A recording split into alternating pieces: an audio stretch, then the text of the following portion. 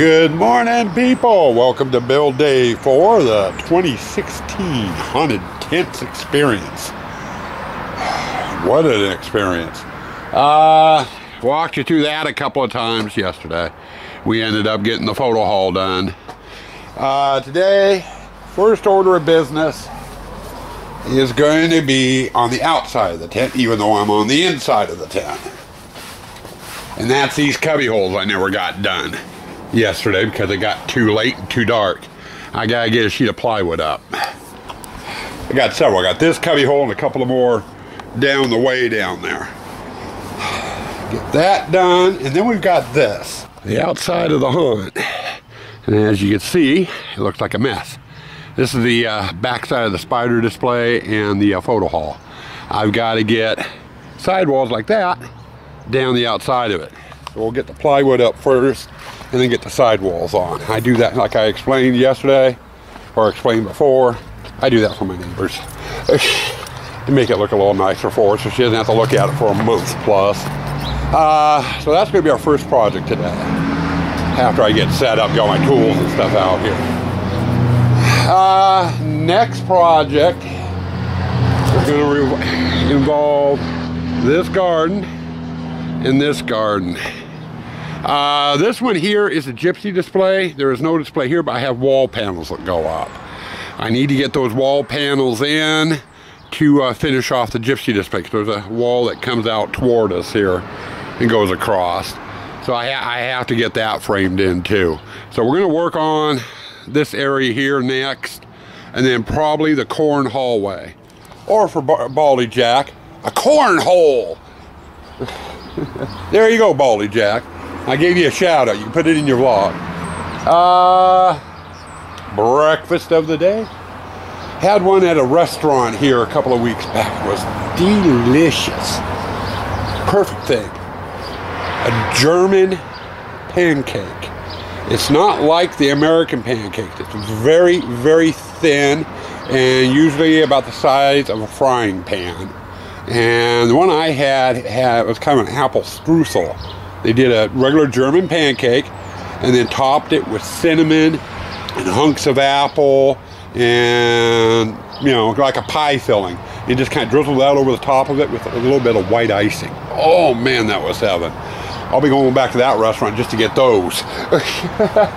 So I'm gonna do that. Side order of link sausage some fried eggs and some wheat toast. Wash it down a little bit of milk a little bit of orange juice. So there's your breakfast of the day and I'm doing such a wholesome breakfast of the day because the last two three days we've been just burning it. And we haven't been eating very well. So to morning, this morning, you guys are going to eat well. There's your breakfast of the day.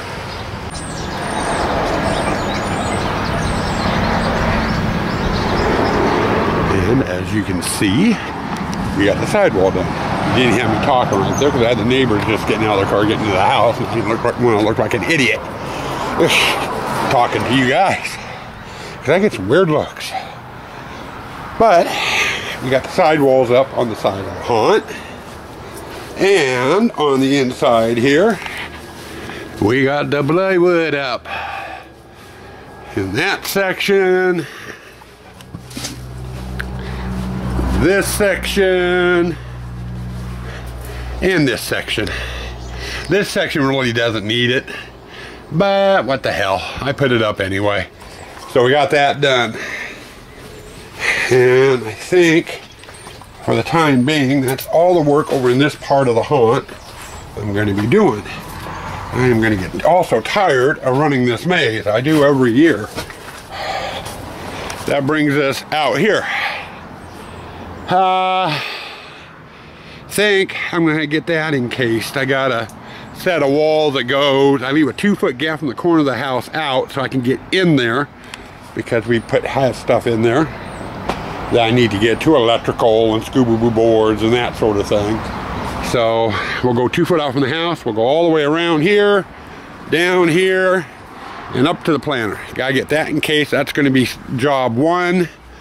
Job two is gonna be doing the back wall out there. So that's gonna be our next project. We're making progress. Got this framed. Just finished the corn hallway And the gypsy displays display is done. Which makes it more of a bitch for setup. Because now I have to run the maze in order to get into where I'm working at. Uh, we did do a change in here. Since we have the gypsy display in this area, that display is not a very big display. We don't have very many things for it. Uh, so we decided to shrink it up a little bit. This wall here normally goes behind the bush up against the house, which gives us about another two and a half feet across the back. And we don't need it. We, I mean, this is going to be plenty of room, and we'll have trouble trying to fill this as it is. So, going to be interesting. So we uh, did that, and I left my doorway. We'll hang a curtain here. And back in here, I keep, I've got all my wiring for all my uh, lights and electrical things. Uh, we're gonna have a projector back here shining up onto the sheet. Uh, we'll have a couple of Scooby boards in here, which will be running in the pneumatics for the cornhole and the clown hall. Ought to be interesting. Uh, my next job in here is I've got to get the skins in and get the gypsy display skinned, which could be a fun job. Meanwhile, on the other side, the wife's been busy. She got all my lumber out. She had this stored back in her vegetable garden and it was covered with pumpkins and zucchini and spider webs. And her and Morgan got this all lugged out. I'll, I'll use all of it. I might need to buy a little bit more. I don't know. Seems like every year we're always throwing out oddball pieces and needing to buy more for the next season. So uh, there's a kind of a midday update for you. Not too bad. We got the plywood in. We got the neighbor's side with their uh, wall panel all the way down to hide that. We got the corn hole done and the gypsy hole done as far as framing we are definitely making some progress. It's a little more defined. Of course, it's all the corn hall. With the walls on both sides, you can a little bit more defined. Then you get in here to the gypsy display, and it's more defined. And I mentioned about running out of panels on the photo hall stuff. I had plenty of extra walls, so we did them in gypsy. So we got that taken care of. The maze grows, and it's actually starting to feel like a maze. Now, I'm going to switch gears.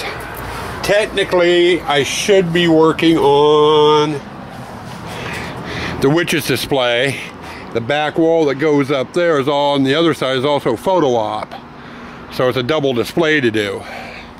This area here is getting more of this zigzag hallway. It's going to be the clown hall. I can't do anything in here until we get the corn in and stuff, and then I can put the clown hallway together. Uh, I'm going to hold off on doing witch and photo op for now. And I've got the water wall. I need to get out here. Easier to get it right straight in without having to thread the maze. Uh, there's a lot of the pneumatic mechanisms and stuff in the shed, a couple of things downstairs, what have you. So I'm going to switch gears and start getting some of the bigger pieces out here into the maze while I have access to it, so I'm not having to run the maze. So we're going to go with that for now. Well, we made it through the shed. I still got stuff in there, but stuff that I can get to so I can stay in. But we got a mess out here. Surprisingly, there wasn't as much as I thought in the big tent that needed to be taken out. Most of the stuff all goes out on the driveway.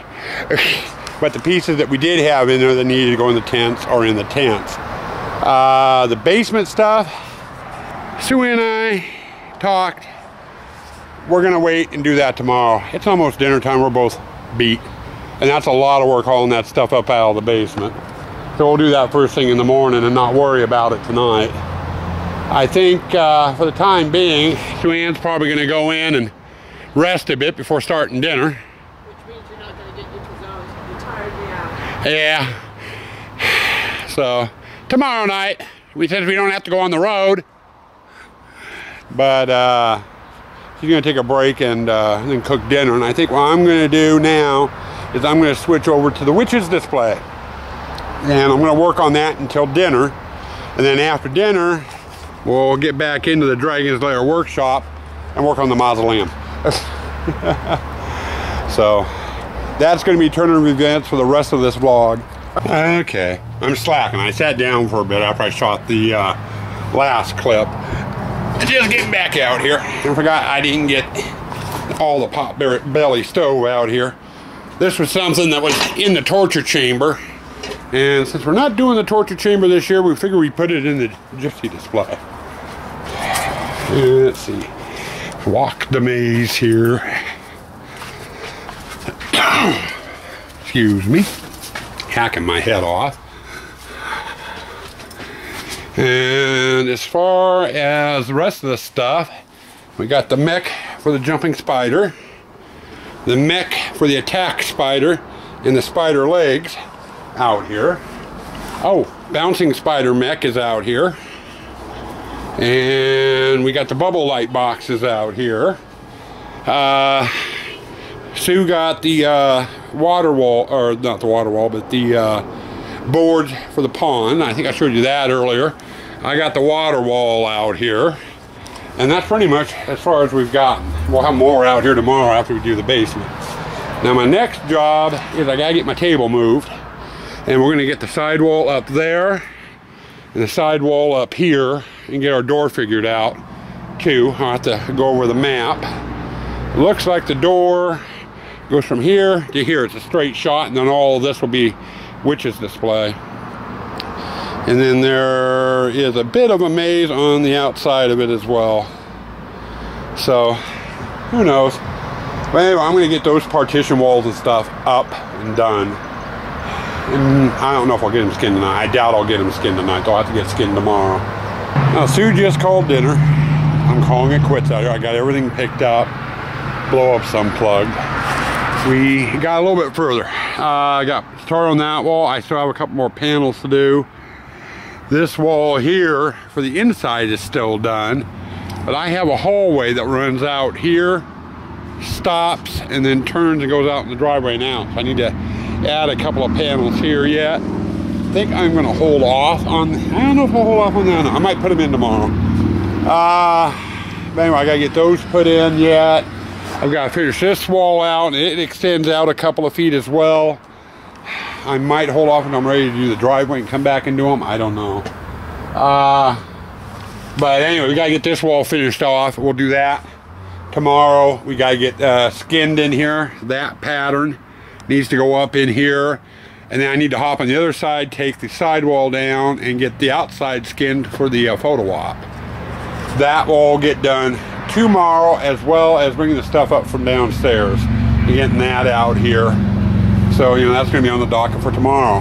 Now, right now, I'm going to go in, get some dinner, take a break for about a half hour, 45 minutes, and then we're to head out in the shop and try to get some more work done out in the shop. Uh, okay, we're out in the shop, obviously. Uh, we got the brass done last night. Tonight, we are going to be working on this outer edge. I want to add uh, add a little character to it. So I'm going to be using my airbrush and we're going to go through and I'm going to spray this area on all the panels with it's kind of a bluish greenish grayish color color looks more bluish green when it's uh, wet and has more of a gray tone to it when it dries but we're going to spray it, and we're going to get a lot of overspray, overspray like we did on the grout, which is fine.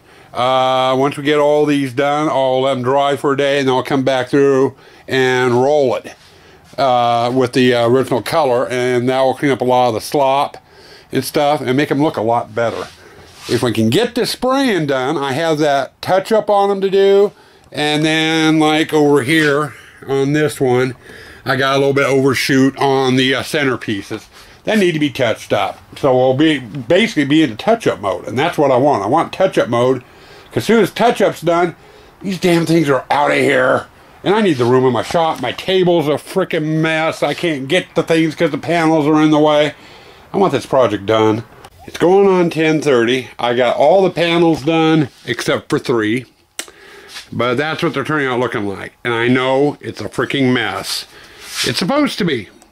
Now I did want to cover how I am doing this here. I am doing this backwards. It's costing me a lit touch more paint and it's eating up a lot of time. But I'm doing it for a reason. Technically, this bluish dark green color I'm currently spraying on here, I should have sprayed the whole thing that color to begin with. And then tonight, I could have had the paint roller out and just gone over the surface of it with this lighter gray color and been done with it. You know, that's the proper way of doing it. I elected not to do it for two reasons. First off, the uh, bigger spray guns I use to shoot my base colors those there. They work good for covering areas. But when you start getting into smaller damaged areas and stuff, I'm noticing, like up here, you don't know if you can tell, there's a little bit more white showing right there. That's because the uh, paint sprayers didn't get enough paint into that area. You know, uh, you know, here's another one here. You, you might be able to see it. Uh, you know, so it's actually better to use my little airbrush to get in there to get that damaged area. That's the main reason, or one of the reasons. The main reason, though, is the coloring. When I originally designed this, I knew what I wanted for the base, I knew what I wanted for the plaque, and this gray color I knew I, I wanted to do. But the damaged areas, I had three different paint colors and I was having trouble choosing, and I literally didn't know what color I wanted to use until I came in here tonight. You know, so, you know, it's kind of hard to pre-shoot the damaged areas when you don't know what color you want to do them. so I'm taking the long method. So we got that. Uh, non-hunt related. Didn't meaning to mention it. My Haunted Tents Gift Shop, aka Haunted Treasures. Uh, we've got some uh, paper clay skulls, three or four different sizes. Uh, we got them in plaques. We've got them in necklaces. Uh, we've got over 15 spices, 15 different types of spices up on my Haunted Treasures Etsy page. that my wife's done up, made from fresh peppers, everything from sweet to hot. Uh, and then we got my LED stuff, my floodlights, my spotlights. I got stakes for the floods. I've got one amp and two amp wall warts for them, what have you. Uh, if you guys are, you know, not so much the skulls and the spices, but on the lighting. If you guys are thinking about wanting to go low voltage, 12 volt lighting, and you want to do it for your haunt this year, make sure you get over to my Etsy page and place your order for it. Uh, latest you can order that I will guarantee you have it by Halloween is October 15th. So you still got a couple of weeks yet. But if you want to get an order in, you want to make sure you have it in time for your haunt, get over to my Etsy page by the 15th of October and, and get your stuff ordered. Uh, if you order after that date, I cannot guarantee you're going to have it by Halloween. So I figured I'd throw in a plug for my haunted treasures. I need some business on that. I need to get rid of some merchandise. I got oodles of stuff sitting downstairs left over from West Coast. I want to get rid of it. So, order! Uh, now that's said and done, tomorrow I am probably going to be coming in here during the day sometime and finishing these three panels off. It's about an hour and a half's worth of work, maybe two hours, give or take, to get these panels to look like that panel. And then tomorrow night we can come in and, you know, be done with them, except for the touch-ups. I need I need to get these things done and out of here. I mentioned that earlier. But anyway, oh, one other thing I wanted to bring up too while I'm thinking about it. Uh, one of my subscribers, haven't heard from him for ages. Uh, used to go by FF Looks at 40. Not, don't remember what his new handle is on YouTube. Uh, James, I want to say James Stewart is his name, and I'm probably wrong on that. I apologize, FF Looks at 40. Uh, he came up with an idea. And I'm going to have to shoot it down, I'm afraid. Uh, his idea was since I do a donut of the day, I do a breakfast of the day. We did lunch of the day the other day. He suggested when we do a wrap up, you know, usually I'm sitting out on the front porch, but with this project going on, I'm uh, wrapping up in here. But he was thinking, as a closure, do a beer of the day. You know, same thing like with lunch or breakfast, you know, breakfast of the day, donut of the day. I just pick out a beer and we go with that. One problem I'm not a beer drinker. I hate the taste of hops. So I don't know much about beers. About the only thing I know of American beer that I like is Guinness. But even that is kind of eh. A good Guinness or a good ale, you have to go to the source. Ireland for Guinness and a pint over in England. Their beers and ales over there taste way different than the soapy cow piss crap we get here in the States. so, you know, past that, that's about as far as I know on beer. so, it's kind of hard to do beer of the day when you don't know beers.